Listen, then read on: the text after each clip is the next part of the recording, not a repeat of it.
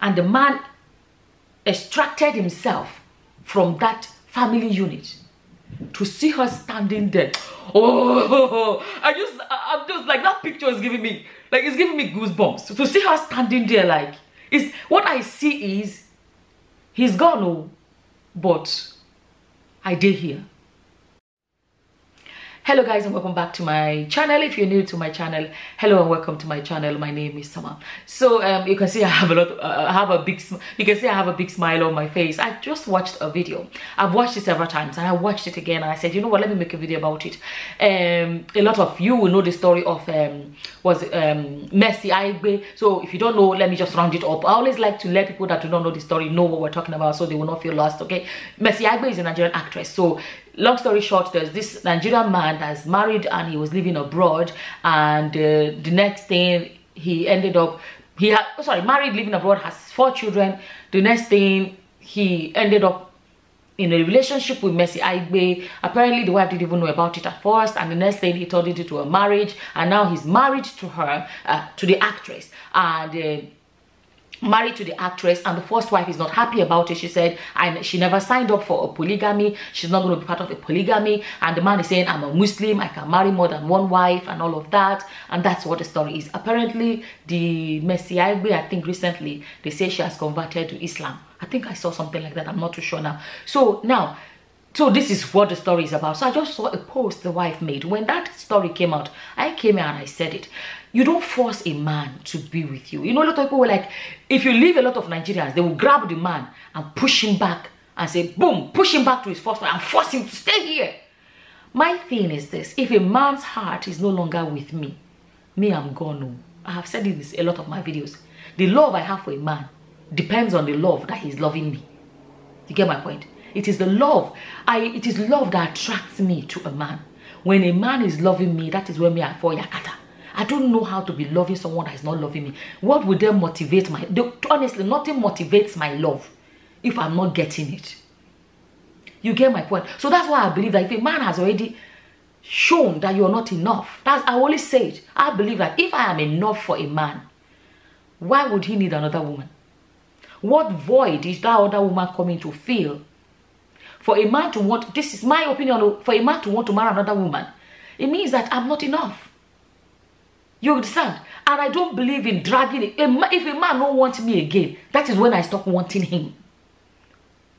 Am I making sense? I believe life will be easier if we're loving those that are loving us. I'm telling you, I made a post many years ago. I remember posting it on Facebook and I said, love is a beautiful thing. But one of the worst things you can do is love someone that doesn't love you. Hey, it is it will be hell on earth. And I said, look, I said he's a, he's a Muslim. He says he wants to do polygamy. The wife has already said, I'm not going to be part of it. That's it. She has made her stand known. Let her stick with that.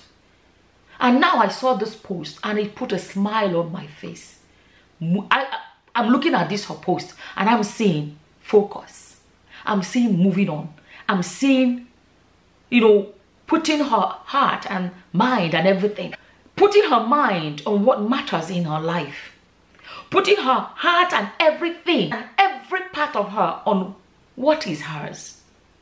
The man is no longer hers. I don't know if, she, if they are doing polygamy, but if they are doing polygamy, he has become our husband. I'm not, I'm not sure if they are doing polygamy. He has become our husband, no longer my husband.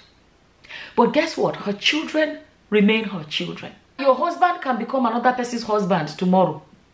But your children remain your children. If you know what I mean.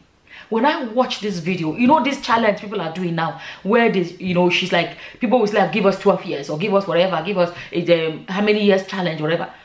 Oh my goodness. And she showed her and her children and then boom when she showed this other picture see the thing is making when she showed this other picture of the children boom grown. And she's standing there like odogu. I know in my language odogu is a male term. But i'm telling you guys she is standing there. And i saw it's making me so ah god i'm just you know i get easily emotional. The video is so powerful. And that is what i like to see. Especially in women. I saw a powerful woman in that video. I saw the way she's standing and her, I, I feel like there are soldiers standing by her side, put a massive smile on my face. This is what it should be. Focusing on what matters.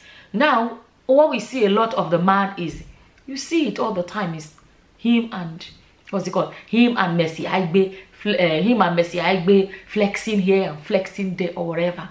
And then you see this woman standing there with family, her, her children. And something that's actually want to say before I forget. When relationships end or whatever, even though as a parent, you know, let me say it, for male or female, I'm saying if you're a man that a woman left you with children, it's not common in our culture, but it does happen. Or you're a woman, a man left you with children. Don't make the mistake. Let me say this is very important. Don't make that children all your life is about.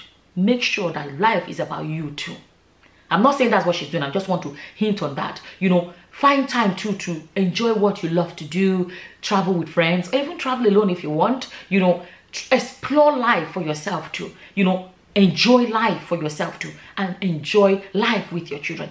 Also, put a lot of attention on raising those children. Let me say this again. Marriages ending, divorce, separation, or born outside a marriage, like you were never married, you got, you know, couple, uh, people got pregnant without being married, or, you know, uh, pregnancy out, out of a marriage, like a girlfriend, girl, boyfriend, whatever, got pregnant, you know, whatever way children come into this life, especially if a, a marriage broke up. You know, it, it doesn't mean, it doesn't mean any of the parents should be absent in the life of the children, in the lives of the children that's wrong. Let me say it. I always say it too. If marriage no let do again, it's better for people to go their separate ways than end each other's lives. I always say it. But even when people decide to go their separate ways, there are ways to make sure that both parents remain in the lives of the children. It is doable. It is doable. There are children from broken homes that, that had amazing lives. They go to their father, they go to their mother, they have both of them in their lives. It's doable. Let me actually say that. Because you see, people that say we must stay in a marriage because of children. Well, that's why sometimes a life ends up ending because they can't stand each other. They're trying to just manage because of children. People don't have to stay together because of children. No. Go your separate ways and let the children have both parents alive but apart than together and one person's life is gone. But when they even go apart, there are ways that a man or a woman can be fully in the lives of the children. I really want to emphasize on that. But anyways, going back to, what's her name? Ashiwaju. I think her name is Ashiwaju. Um, um, this man's uh, um, first wife. You know, when I saw that, I like what that picture represents. Don't forget, they were building a family. For whatever reason, that family, I don't know their reason behind why, whatever, but let's say for whatever reason that family broke up. Children do not have to lack because of that. But when we look now, unfortunately, what it looks like is that the woman carried on playing that role of being there for the children. For what we are seeing, you know, it looks like the man is no longer playing that role. Going back to looking at this woman's profile to see that when it happened and the man extracted himself from that family unit, to see her standing there. Oh i just i'm just like that picture is giving me like it's giving me goosebumps. To see her standing there like is what i see is he's gone oh but i did here with him or without him i am doing it.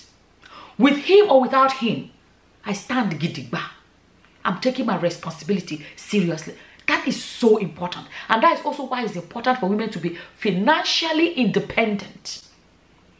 The powerfulness of being financially independent, I can't explain it. Because if this woman was poor, she'd be going to him to beg for money for garri. Bring money for school fees now. Bring money for this. Then the, it, it would then affect the children even more.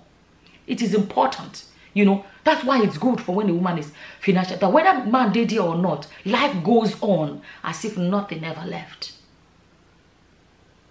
You get my point. That, what's that word? Mat matriarch. Mat matriarch. Am I saying it? Matriarch. Matriarchy. You know, I, I love what I saw. I love when you're looking at that and you're seeing a woman standing like a dog that picture is I, I don't I don't even know how to explain it. Ah, that picture is beautiful. And I hope that looking at her would empower a lot of women that found themselves in that position.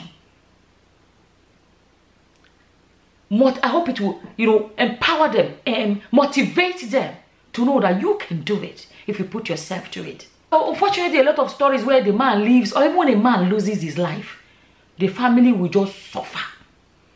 The woman cannot shoulder any responsibility. She cannot whatever. Let me say this. There are women that men have left for years and they are still waiting. They are still sitting and waiting and waiting. Like their life is at standstill because a man left. Even the children suffer. Long story short, I saw that video and I, I really like what I see. And I wanted to share it. That hopefully to inspire somebody else. When you see something like this, to see that, you know, you too can do it you too can, you know, weather the storm. And when the time comes, your children will be able to say, such and such happened, but our mother stood and she did what needed to be done. I don't even know what else to add. You know, I saw that and I wanted to share with you guys. As always, whatever your opinions are, please feel free to leave them in the comment section below. And with that, I'm going to say thank you for watching. Until the next time, guys. Bye-bye. Bye.